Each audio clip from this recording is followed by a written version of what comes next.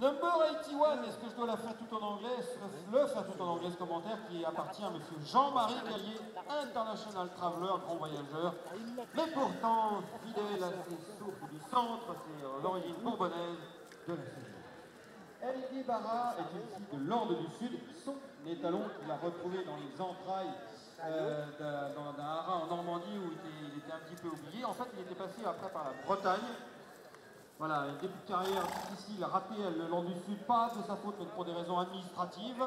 Et il a revécu, il y a une deuxième naissance spectaculaire euh, depuis 2013, où il est arrivé au haras du Favri. Il a remporté plusieurs prix l'Ordre du Sud au Chaser Day de Paris Monial. Et on ne doute pas que cette euh, fille de l'Ordre du Sud, Mendy Tenise, soit bien classée car elle présente un modèle assez impressionnant. Famille de Andre Tenise, Tulipe du Seuil, Jimmy Tennis de la famille Bono.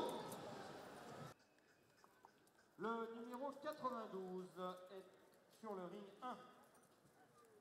Un mâle. Un mâle de Costal Pass et science-fiction par Don Alco et Voilette, c'est-à-dire science-fiction, mais S-I-E-N-C-E. Hein. Orthographe euh, sciemment indiqué. La sœur de Gloria 4, et oui, l'héroïne de Gloria 4, on en parlait longuement tout à l'heure, famille de notre père, called here, who will be alone, is born uh, quite late, the 23rd of May. Il est né assez tard, c'est un de science-fiction, le 23 mai. C'est un- le deuxième produit, le troisième produit, pardon, de sa mère, science-fiction.